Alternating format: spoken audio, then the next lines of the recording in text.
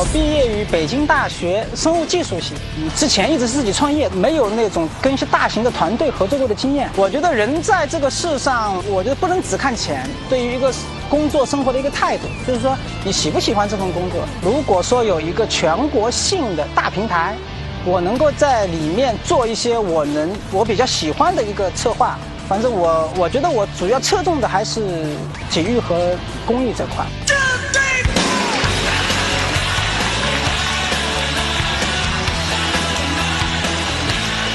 蔡国林，三十四岁，浙江人，北京大学生命科学专业博士毕业。大家好，我叫蔡国林，今年三十四岁，来自浙江诸暨市。呃，我二零零零年在北京大学生命科学学院本科毕业，二零零六年北京大学生命科学学院博士肄业。呃，在今天我想找的工作是。一个大型的全国网站的线下活动策划总监，谢谢大家。欢迎国林，欢迎国林。呃，国林是本科毕业是哪年？二零零零年。就是九六级的嘛。现在咱要说到那个学历，虽然在这个平台上咱们不讲学历，不单纯讲学历，但是说到学历，咱六年都花了，现在跟人聊只能说到本科学历。我不觉得遗憾，我觉得找工作最重要的是能力。嗯嗯嗯，当时怎么想的？到了零六年，想起来肄业了。呃，其实事情是这样的，因为我在零一年的时候，那时候是疯狂的爱上了羽毛球。嗯，就开始做校园代理，代理羽毛球产品。哦，羽毛球产品。对，零五年的时候，按道理零五年应该毕业了。博士应该毕业了。因为你也知道，北大的博士是需要论文的，导师要求比较高，所以我觉得我应应该是完成不了。所以呢，当时是申请了延延期，延了一年之后呢，感觉我没有，我就我没有精力去投入到科研里面去了。咱当时就觉得卖球拍卖球鞋，比那个科研对你的兴趣会更大。可以这么说，但是其实我想的不光光是销售了，其实。体育产业其实不光是销售了，那个包括很多呃俱乐部的活动啦，还有赛事的组织策划啦，还有各种整个一个产业链，它是我觉得是非常吸引我，我也是我觉得我值得我用一生去追求的。所以到了零六年，自己就开始认真的把这个事儿想清楚了。我觉得如果再这么模棱两可下去的话，很可能两边我都做不好。嗯，零四年你是做的那个体育的公司，嗯，对吧？对。呃，这个公司一直做着呢吗？做到哪年？到目前为止还做着。这公司怎么样运转的？公司分成两分成两部分嘛，一部分是盈利部分，一部分是非盈利部分。嗯。盈利部分主要是产品销售。嗯。啊，非盈利部分呢，主要是做一些活动策划。嗯。包括还有烧钱部分，就是去赞助一些呃高校的一些比赛。我能问问咱公司挣钱的事儿吗？方便吗？呃，可以啊。啊，每年的纯利大概有多少？呃，一个月大概嗯四五万吧。对一年就是四十八。对。就一年五十多万。嗯，差不多。差不多哈。你是烧钱，你是负责烧钱的部分。对。谁挣钱呀？呃，我爱人负责挣钱。你说你爱人往台下瞧，哪个是爱人？哎，来让大家认识一下，欢迎蔡国林的爱人，欢迎欢迎欢迎，是是同学吗？我们是偶然的机会认识的。偶然的机会认识的啊！来回答老问题，说优。哦，我觉得他是一个非常有爱心、有责任感、聪明的人。嗯，缺点。缺点的话，我觉得他的那个优点永远大过于他的缺点吧。没说从你的角度的缺点，就是别人大众啊，你现在就是他一熟人，说说缺点。缺点的话，我觉得他在销售方面可能会稍微差一点。销售差。对对对，我比较喜欢卖球拍、卖球鞋赚钱。他是比较喜欢就，怎么说呢？为了他的理想吧，嗯，然后致力于推广羽毛球运动，嗯，然后去外面做活动，咱能好好说缺点吗？他的缺点是致力于推广羽毛球活动。哎，你看人家，你看人这两口子这日子过的，哇，你你太过分了，这样。哎呀，行了，咱们俩聊，把他忽略不计了啊。可以。这是你的生力军，为什么想到出来找工作？嗯。呃，我希我希望我的能力能够在一个更大的平台上发挥。所以今天国林也明确的提到了要去一些大的网站，对不对？对，网站。呃，我求职的职位是策划总监。总监不是总监干不干？呃，如果刚开始的时候可以是活动策划，但是我希望我的目标是策划总监。对对。好，明白了。但是大的网站，大的网站，你举什么手呢？我们也很大啊，在我们我一说大的网，站，你就举手我一说我们嘛。啊！来提问。行，呃，蔡哥，我再和您确认一下，您是四年制的北大本科对吗？对，所以说您证明了您是非常聪明的一个人，然后在你读博士的时候。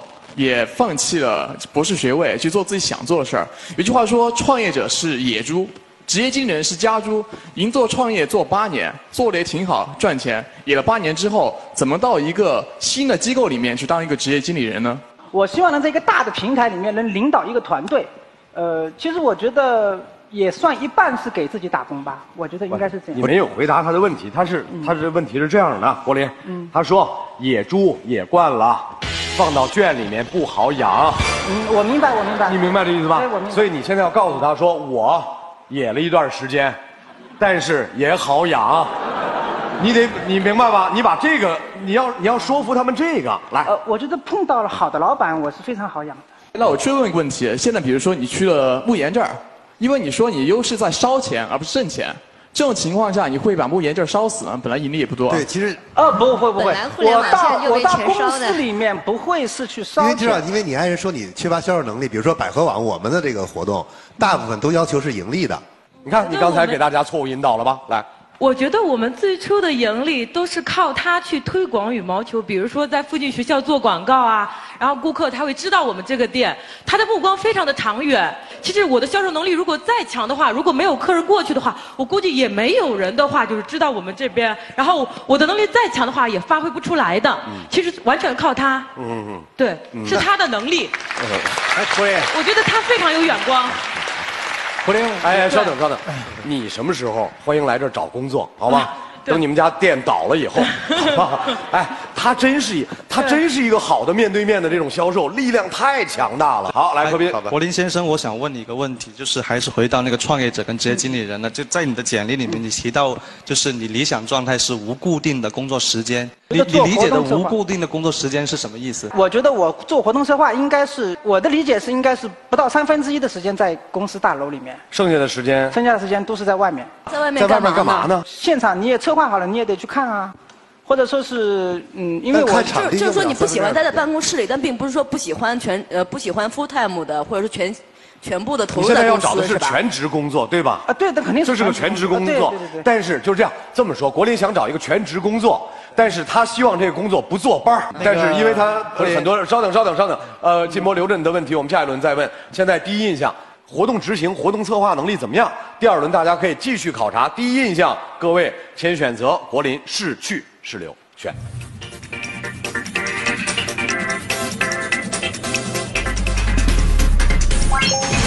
好，不错，十二盏灯全部都亮着，来，发挥长项，慢慢聊天天生我有才。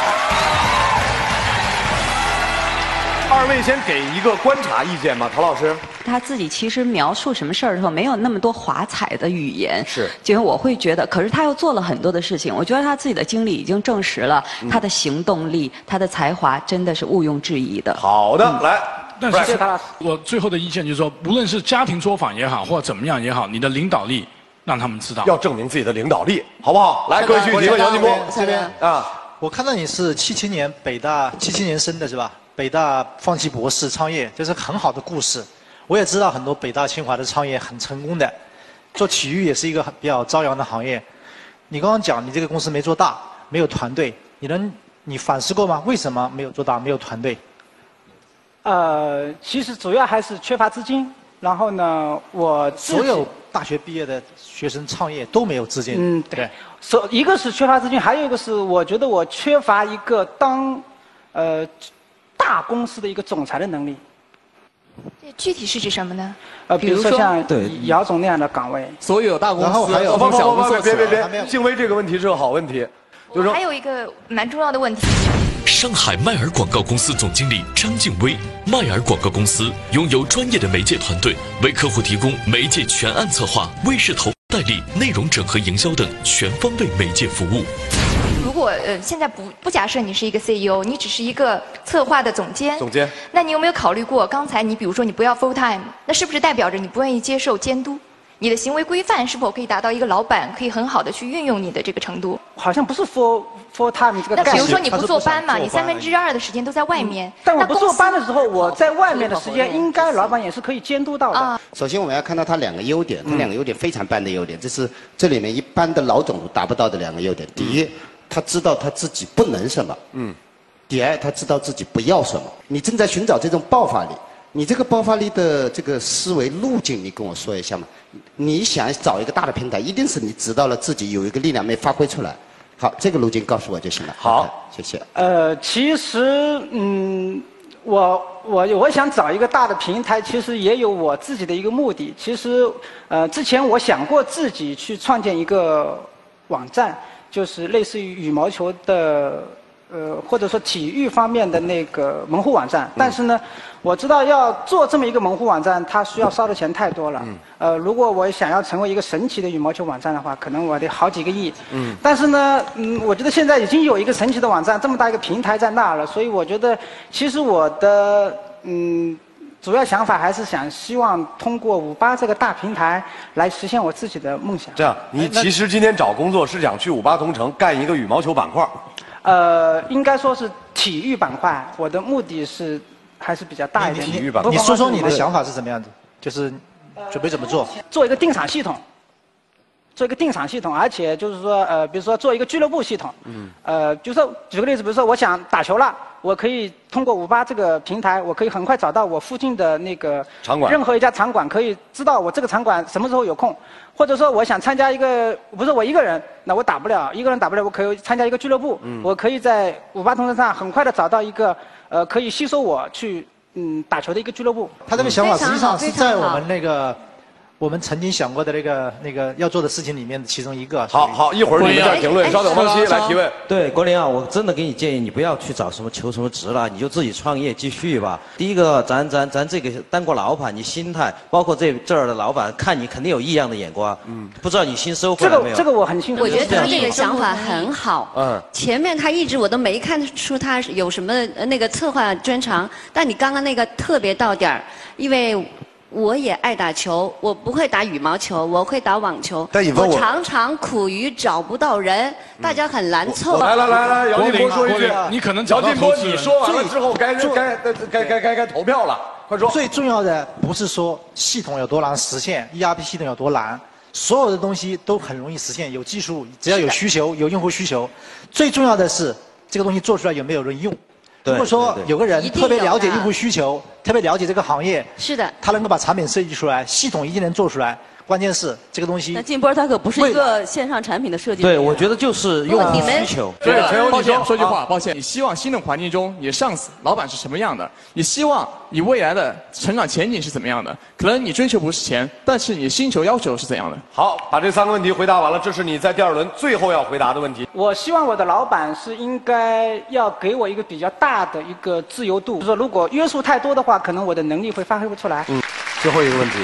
你对薪金有没有要求？呃，我最低最低，不不低于两万就可以。但是呢，我要求是月薪啊，月薪。月薪啊，那个我我希望我能在一个大的平台里面占有一定的期权，相当于我可能也算是为在为自己打工吧。就是说，可能在打工和当老板之间找一个平衡。有的时候求职者在这说的时候，我老拦着，是吧？别说别说，一会儿以后有机会咱找他要钱去。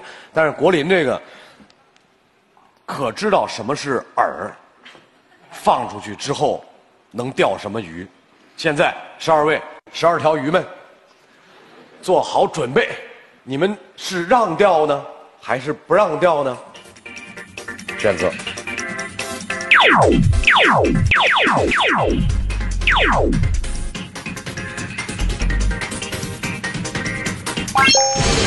哇，留下来的人不少嘛。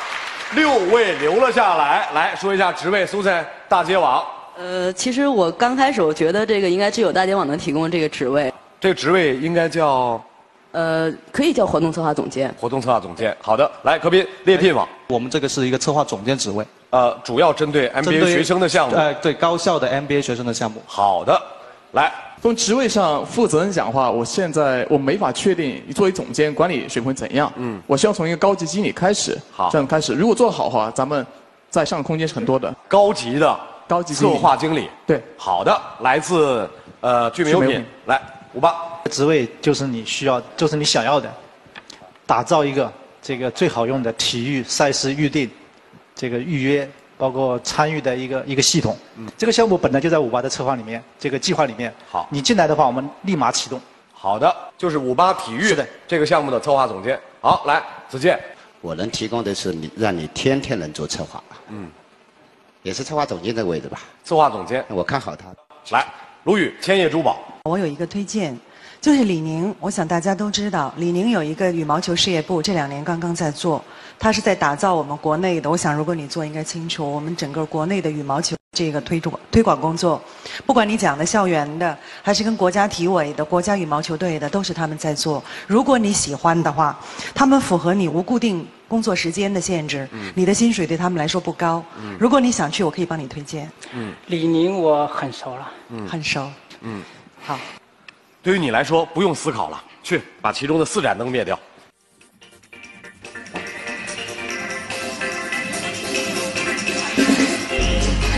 再见，苏珊。再见，戴克斌。没事没事。再见，陈欧。不好意思，我还是比较坚持我的职业啊。不好意再见，卢宇。思，谢谢谢谢谢谢谢谢谢谢。两家剩了下来，五八同城和华谊传媒。谈钱不伤感情，职位都一样，都是策划总监。来吧，呃，我给你的是那个产品策划总监，其实你就是五八体育这条产品线的负责人。我对你有个小要求，就是我不希望你是在产品策划阶段，在运营之前有三分之二的时间在外边，你需要跟团队沟通，需要开会，前期肯定没问题。前期能够这个坚持把这个产品推出来。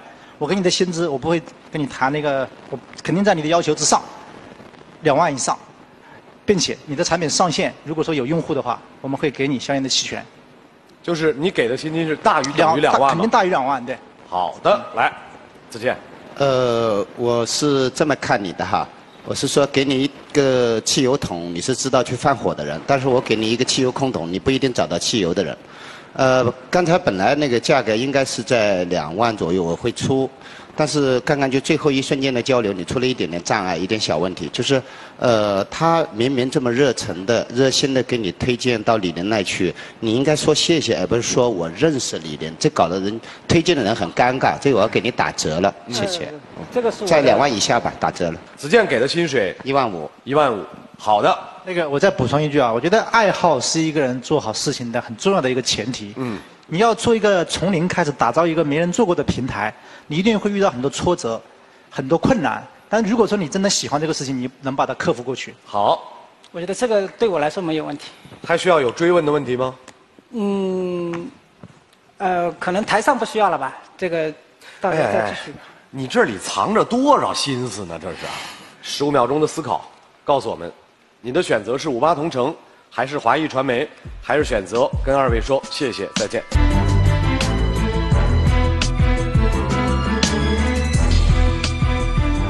我的选择是五八同城。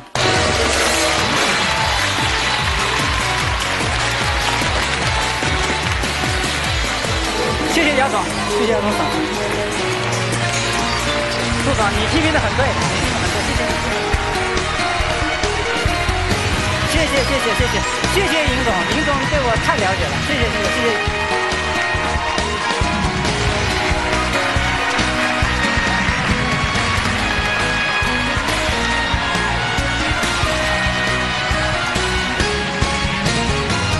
恭喜球成功，非你莫属的新书送上啊！哎，谢谢。其实这个结果还是在我意料之中的，我相信我的能力，而且我就是奔着五八同城来的。但是毕竟没有过带团队的经验，那那我觉得这个对于我来说应该很很容易学，我觉得。学加油，祝愿在五八同城工作谢谢你，愉快。谢谢你，以后有机会我们一起打羽毛球。也祝愿早日见到你那个平台。谢谢。